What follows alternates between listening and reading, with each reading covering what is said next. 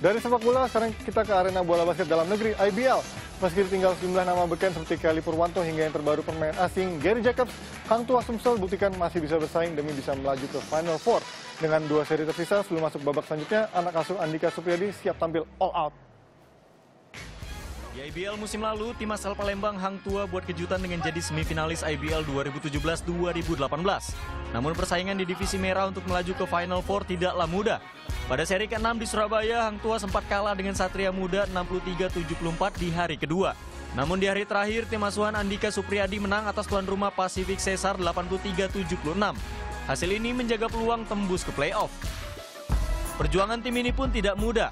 Dengan menggabungkan pemain muda dan para pemain asing, tim ini masih optimis bisa melaju ke Final Four. Namun seri 6 Surabaya jadi laga perpisahan pemain asing andalan mereka Gary Jacobs yang harus kembali ke Amerika Serikat karena kepentingan keluarga. Di laga terakhir ia cetak 36 poin dan 11 rebound.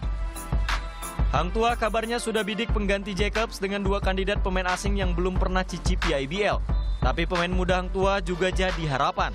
Salah satu yang menonjol adalah Abraham Wenas yang sahabat Rookie of the Year IBL musim lalu.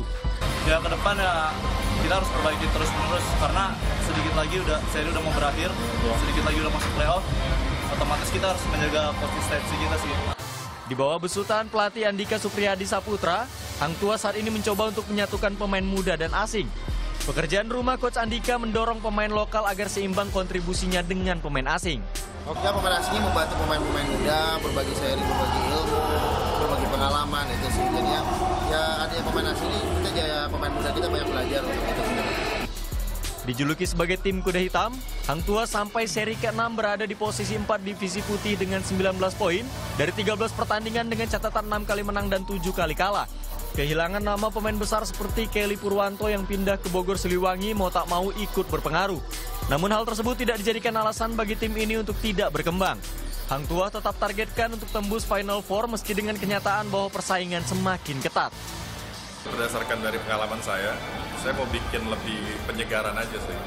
Soalnya saya ngeliat bertahun-tahun ini pemain-pemain basket Indonesia ini ya itu lagi, itu lagi gitu. Jadi saya mau bikin nuansanya lebih baru aja.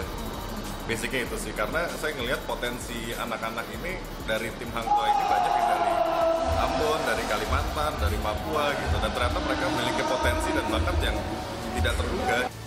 IBL masih menyisakan dua seri lagi sebelum masuki babak selanjutnya.